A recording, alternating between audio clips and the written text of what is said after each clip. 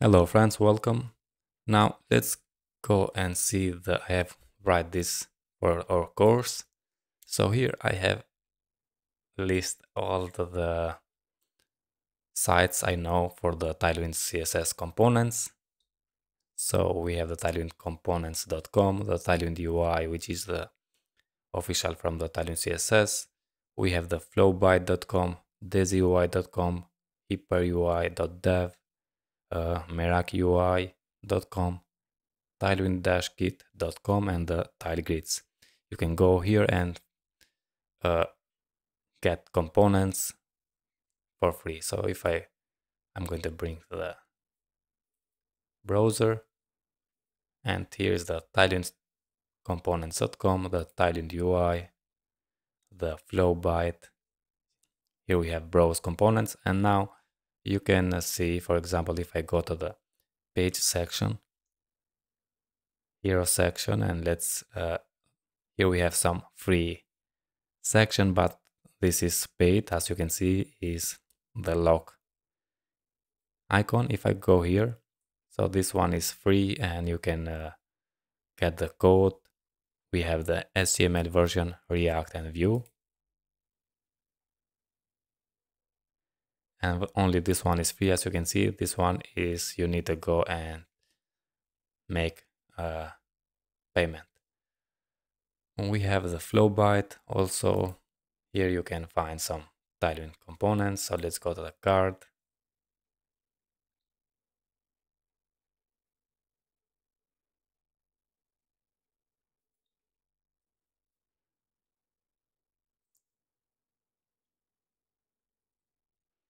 Okay.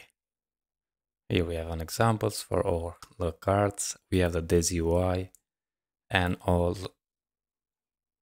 the components we have here. The HyperDev UI also, the Meraki UI browse components. As you can see, Tailwind dash kit. And the last one is this uh, tailgrids.com. And we are going to use some components for us, the free components.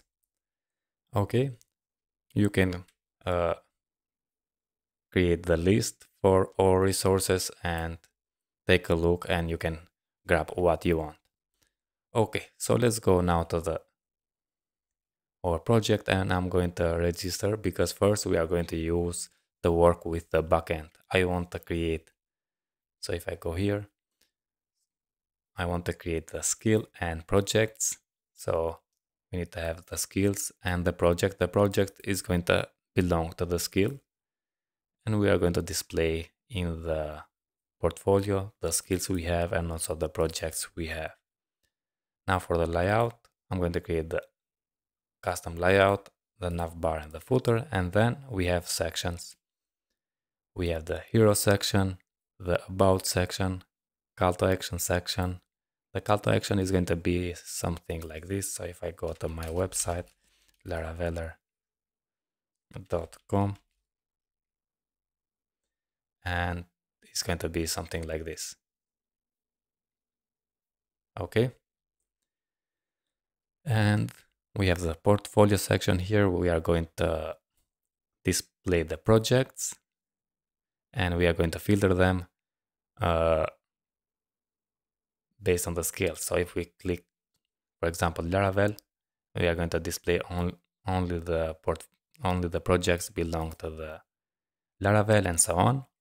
Also, the services section is going to be hard-coded cards. So what uh, we offer for the clients and the contact section, we are going to create a contact form we are going to display the location and the email and we are going to send the mail from the contact form to we are going to use uh, mailtrap.io okay now as i said let's go to the browser and register.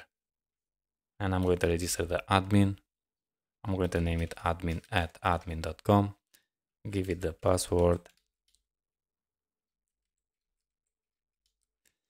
and let's register the user. Now we have the user here.